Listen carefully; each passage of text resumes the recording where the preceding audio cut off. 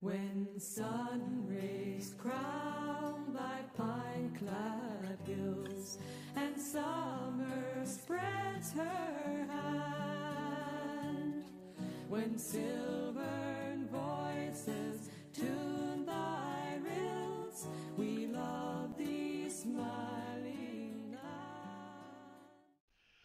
Welcome to part two of our presentation, Newfoundland Surface Mail Stamps 1856 to 1947.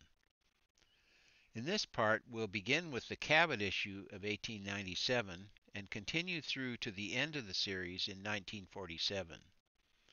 In the concluding moments, we'll touch on the provisional issues, including bisects and the overprints that changed the stamp's value or use. The year 1897 was doubly special for Newfoundlanders. It was not only the Queen's Diamond Jubilee, which was celebrated all over the British Empire, it was also the 400th anniversary of the discovery of Newfoundland by John Cabot in 1897.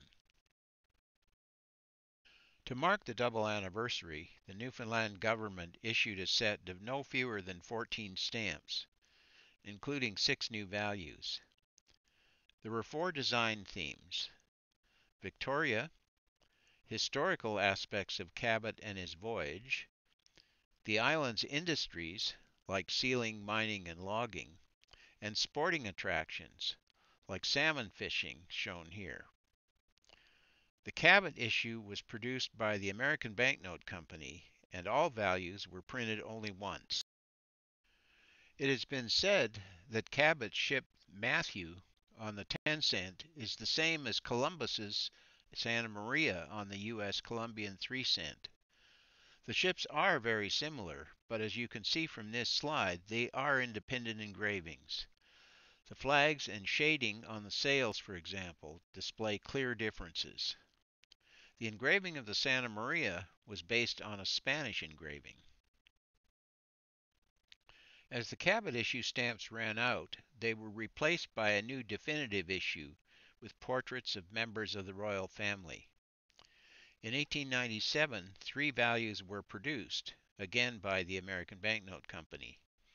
A half cent olive with three year old Prince Edward, later King Edward VIII, a one cent carmine, Victoria, and a two cent orange, Edward, Prince of Wales, later King Edward VII. In 1898, to conform with the Universal Postal Union Agreement on Colors, the 1 and 2 cent were reissued in new colors, the 1 cent in green and the 2 cent in vermilion. Also that year, the 3 cent with a portrait of Alexandra, the Princess of Wales, was introduced in orange. In 1899 came George, the Duke of York, later King George V, his first time on a stamp, and in 1901 Mary, the Duchess of York, completed the set. The two cent map issue of 1908 was unusual for being an issue of a single value, not part of a set. The story behind this stamp is just as unusual.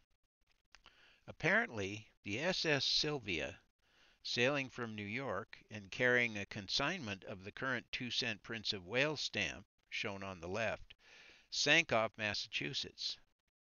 To protect against revenue loss should the sunken stamps fall into criminal hands, the Newfoundland government commissioned the American Banknote Company to engrave a replacement bearing a map of the island. In 1910, the Newfoundland government began a long run of stamp issues produced mostly by British companies. Rather than deal directly with the entity that produced the stamps, the government typically dealt with a procurement contractor, which in turn engaged a second company to produce the plates and print the stamps.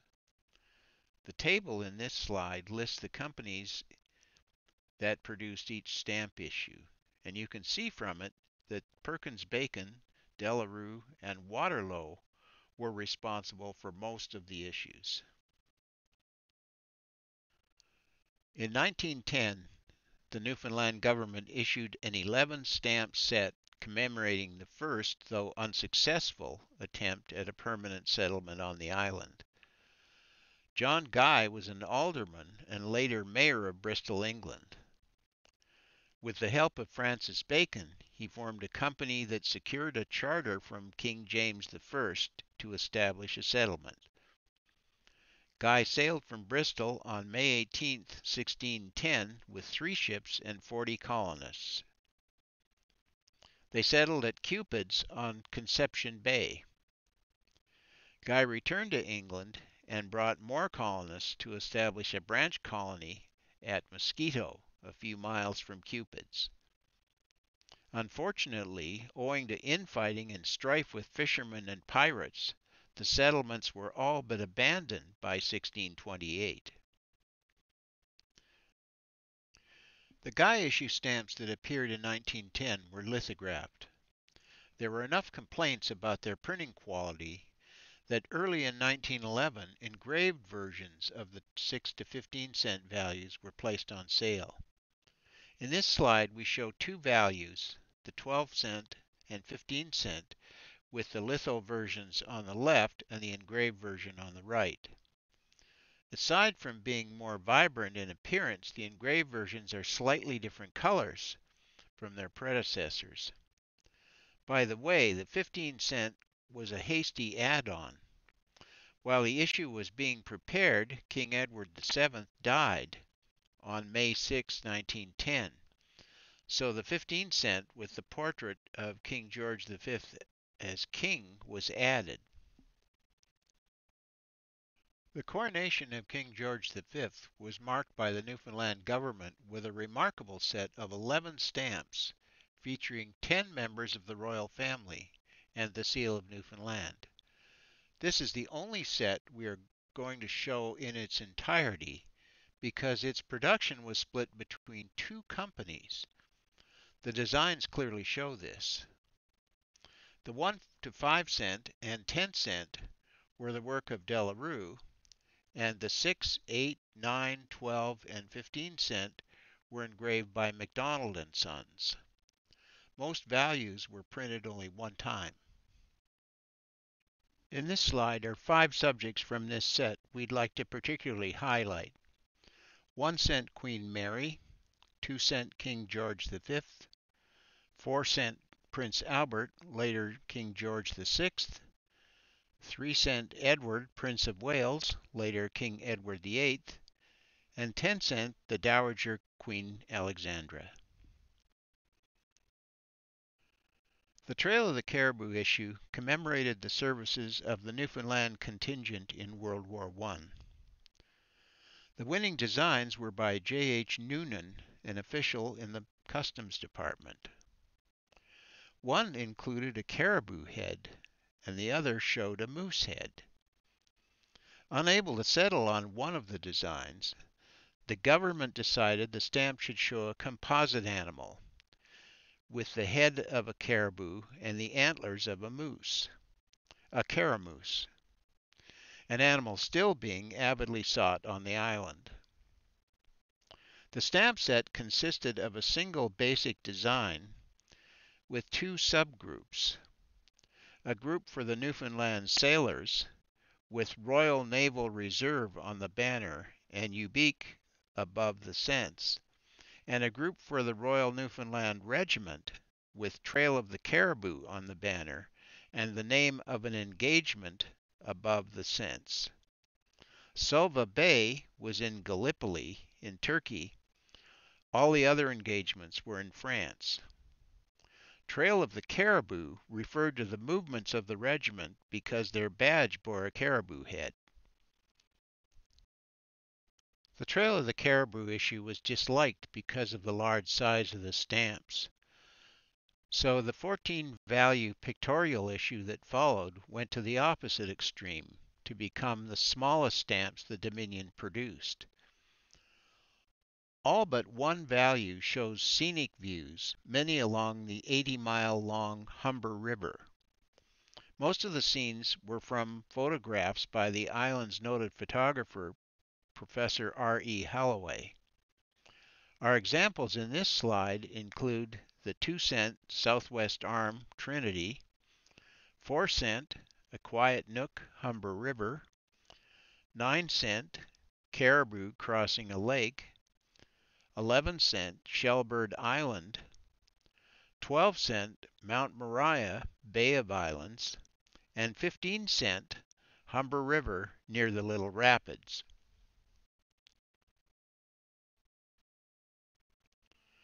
Newfoundland's long-standing dispute with Canada over control of the Labrador coast on the mainland was finally resolved by the British Privy Council in Newfoundland's favor in 1927.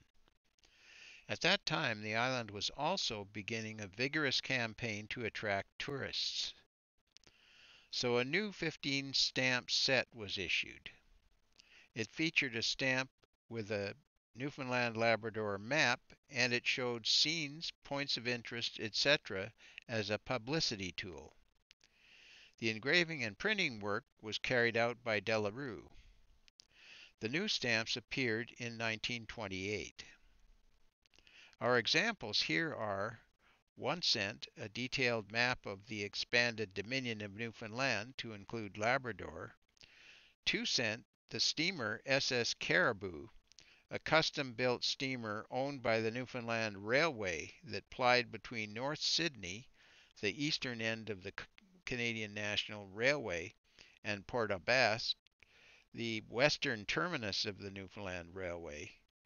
9 cent Cabot Tower on Signal Hill above St. John's, where Marconi flew his kites and received the first radio message to cross the Atlantic. 6 cent Newfoundland Hotel in St. John's. 8 cent City of Heart's Content, nicknamed Cable City, where the first transatlantic cable was hooked up in 1866 and where most cables from Great Britain to Canada were relayed through its Western Union office, and 15 cent the Atlantic Vimy, taking off from St. John's for the first nonstop flight across the Atlantic in 1919. In 1929, the procurement contract for printing Newfoundland stamps passed to John Dickinson and Company of London. Fresh printings of some values of the Newfoundland Labrador issue were requested, but the former contractor, Whitehead Morris and Company, refused to give up the De La Rue dies, rolls, and plates. So Dickinson, who were stationers, not engravers, hired Perkins Bacon and Company to copy 11 of the 15 values. The Perkins Bacon copies are close, but show numerous areas of differences. We've already discussed the 2 cent steamer differences in part 1. Here we'll look at the 4 cent Prince of Wales and the 5 cent express train stamps. The De La Rue originals are on the left and the Perkins Bacon copies are on the right. Even looking at the full stamps, it's not hard to see the difference in the rendering of Edwards' features. Another clear point of difference is the circular ornaments on each side of the portrait. The De La Rue design has six circles, and the Perkins-Bacon design has five roses. On the trains, the difference is more subtle. For example, the De La Rue issue lacks a spur around the upper left 5 ornament seen on the Perkins-Bacon issue. We'll get into that with magnified shots soon to follow. Here's an enlarged view of the faces on the 4 cent stamps so you can more easily see the more true to life rendering on the De La Rue original. And here are enlargements of the upper left 5 counter area on the express train designs. The arrows help you zero in on the differences.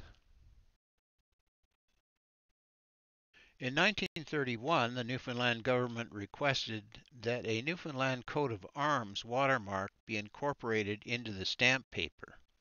So a portion of the Perkins-Bacon stamps come with the watermark. This table summarizes the occurrence of the three varieties of the Newfoundland Labrador stamps. Note that four values, the 9, 12, 14, and 28 cent, were not copied by Perkins Bacon, and that the 8 and 30 cent Perkins Bacon printings were only on watermark paper. At the beginning of 1932, a new pictorial stamp series appeared, consisting of 12 values. The royal family and Newfoundland scenes and animals were featured. Five examples are shown here. One cent, group of fish, one of the, of the Dominion's greatest resources at that time. Two cent, King George V. Four cent, Edward, the Prince of Wales. Six cent, six year old Princess Elizabeth, later Queen Elizabeth II and 14 cent a Newfoundland dog. Late in 1932, due to changes in postal rates, three new values 7 cent Queen Elizabeth, 8 cent Corner Brook paper mills, 24 cent loading iron ore at Bell Island were added. Also, three color changes were made. 1 cent dark gray was green, 2 cent green was red, and 4 cent Rose Lake was deep violet. The year 1933 was the 350th anniversary of the annexation of Newfoundland by Sir Humphrey Gilbert in 1583. The Newfoundland government marked the event with a 14 stamp set. Gilbert, half brother of Sir Walter Raleigh, was an English adventurer and soldier. He was convinced of the existence of the Northwest Passage, and in 1578 he secured a charter from Queen Elizabeth to search for it and claim land. In 1583, Gilbert sailed from Plymouth with five ships. One ship soon turned back, but the other four arrived off the present site of St. John's on August 3, 1583. Only two ships later sailed for home, Sir Humphrey in the Squirrel and Captain Haines in the Golden Hind. Sir Humphrey and his ship were lost in a storm off the Azores. The examples shown in this slide are 1 cent Sir Humphrey Gilbert, 8 cent Gilbert's fleet leaving Plymouth, 9 cent the fleet arriving at St. John's, and 24 cent Queen Elizabeth. In 1934, the Newfoundland government became insolvent, and the Dominion was obliged to revert to Crown colony status. As such, it issued the standard design omnibus sets for George V's Silver Jubilee, four values, and George VI's coronation, three values. Because of Newfoundland's former Dominion status, the government could legally still issue its own stamps, and it chose to issue a supplemental coronation set with 11 additional values. In generating the dies for the supplemental issue, Perkins Bacon relied heavily on their existing engravings for the 1932 pictorial issue. The 1 and 3 cent values were completely new but all the other values had the vignette from the 1932 issue and a new section with George VI's portrait at the right. The 15 cent Northern Seal Pup stamp shows this nicely. The 1937 coronation issue was a one-time printing, with the intention to return to the 1932 pictorial issue afterward. However, due to changes in the royal family, some values needed to be updated in 1938. The new stamps were 2 cent King George VI, 3 cent Queen Elizabeth, 4 cent an older, now 12 years old, Princess Elizabeth, and 7 cent the Dowager Queen Mary. And a new value, the 48 cent fishing fleet, was added at that time. In 1939, the King and Queen made the first ever visit of a reigning British monarch to their possessions in North America, including Newfoundland. A five cent stamp marked the occasion.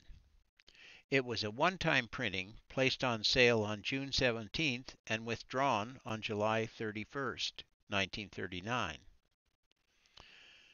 1939 also saw the issue of the island's first postage due stamps, a set of six values, unwatermarked. A watermark version of the 10 cent appeared in 1949. In May 1941, a German bomber raid destroyed the Perkins Bacon printing plant. Newfoundland stamp printing was quickly transferred to Waterlow. The perforation changed from about 13.5 to 12.5. Most of the Perkins Bacon dies, rolls, and plates were saved from the rubble, but Waterlow had to do some touching up. And for the 2 cent and 3 cent, Waterlow made completely fresh engravings. In this slide, we see the Perkins Bacon original on the left and the Waterlow replacement 2 cent on the right. Note the difference in the lower right of the L of Newfoundland. Here's a closer view of the 2 cent stamps, in which one can see that the rendering of George VI's portraits is more lifelike on the Perkins Bacon original than the Waterlow copy. Another point of difference is the crown band. On the Waterlow version, the jewels are larger. The 3 cent was also copied, as with the 2 cent, the Perkins Bacon original has a long serif on the L in Newfoundland. And, as with the 2 cent, the Queen's face is more true to life on the Perkins Bacon version, and the jewels on the crown band are larger on the Waterlow version. Meanwhile, new commemorative stamps were being issued. The first was a 5 cent stamp in 1941 to recognize the medical missionary Sir Wilfrid Grenfell and the work of the Grenfell Mission in Labrador. In 1943 came a 30 cent stamp for St. John's newly renamed Memorial University College. The new name recognized all the Newfoundlanders killed in wartime. Finally came two 1947 issues an updated 4 cent stamp in the 1932 to 38 pictorial series showing 21 year old Princess Elizabeth, and a commemorative marking the 450th anniversary of the arrival of Cabot off Cape Bonavista in 1497. In the Newfoundland Surface Mail series, provisional issues were those for which the value or the use was changed compared to the original stamps from which they came. Provisionals first arose with the 1857 to 61 pence issue and persisted well into the 20th century. The first type of provisional we'll note here is the bisect. A bisect was sometimes used when there was a lack of a particular value, but there was available the stamp of double the value. So the stamp was cut in half and the partial stamp used to pay half the rate of the complete stamp. Our example here is a cover with an 8 penny stamp of the 1857 pence issue cut in half to pay 4 pence. By far the most common type of provisional is where a stamp of one value is overprinted to change its value. Our example here is a 3 cent stamp of 1890 overprinted to make it a 1 cent stamp. Value change provisionals were produced right up into the 1940s. In 1933, a most unusual kind of provisional arose. 15 cent airmail stamps were overprinted with bars to cross out airmail, and L&S post for land and sea post overprinted to convert them from airmail to surface mail stamps.